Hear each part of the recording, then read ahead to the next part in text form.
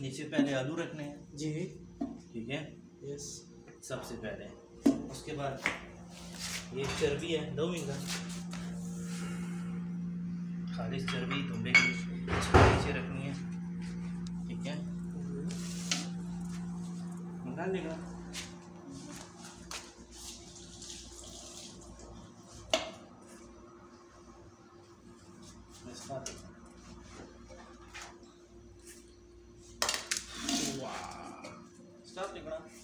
ना ना स्टार्ट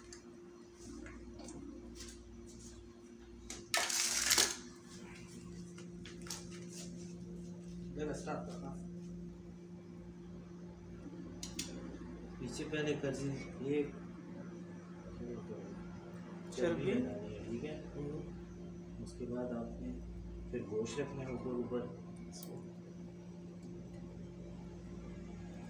ये लाजमी ऐसी बर्तन में बनाना है। कुकर में रखना है तो ढाई घंटे देने हैं आपने दूसरे बर्तन में रखना है तो चार घंटे। ठीक है? और टमाटर ऐसे रखने हैं आपने इसको। अलग साइज़ में। जितने ज़्यादा होंगे उतना जायका अच्छा आएगा जो बड़ा है टमाटर उसको काट लेना है काटना है टमाटर।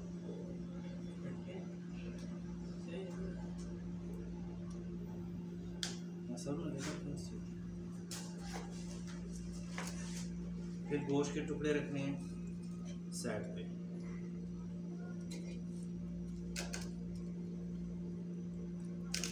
गोश्त के पीस बड़े बड़े होने चाहिए ठीक है?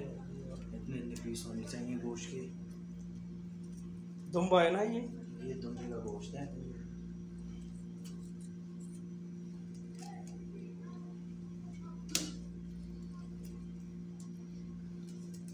दो प्याज रखने हैं जायके के लिए।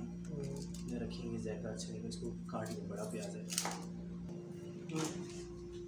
टमाटर जितने ज़्यादा उतना जायका अच्छा आएगा, टेस्ट अच्छा बनेगा।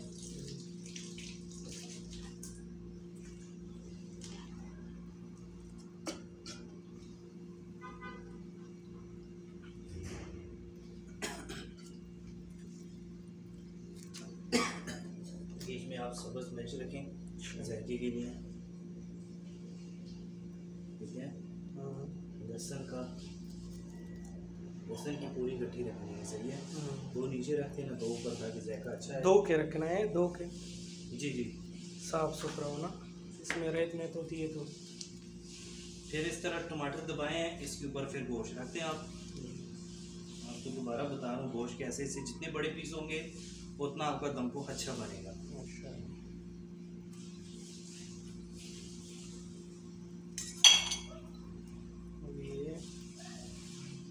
स्टफ़ हो गए ना स्टफ़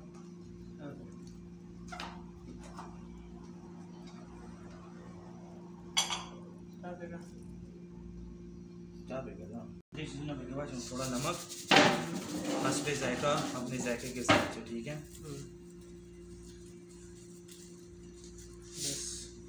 और साथ में पीसी हुई काली मिर्च अपने जायके के हिसाब से ठीक है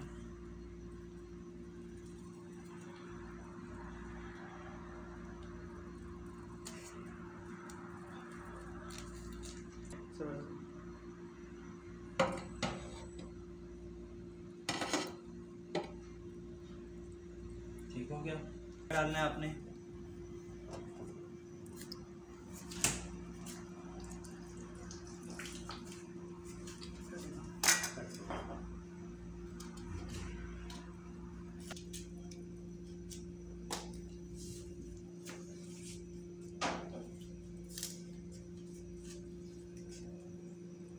हो गया। एक गिलास पानी डालना है आपने ठीक है? ज़्यादा नहीं, थोड़ा सा, एक गिलास। आधा गिलास कर लें एक गिलास कर लें बस। अभी इसको अच्छी तरह डाल लें।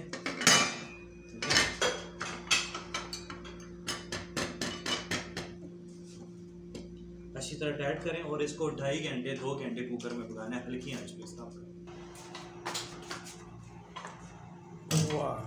इसको दो से ढाई घंटे आपने कुकर प्रेशर में, ठीक है? हल्की आँच में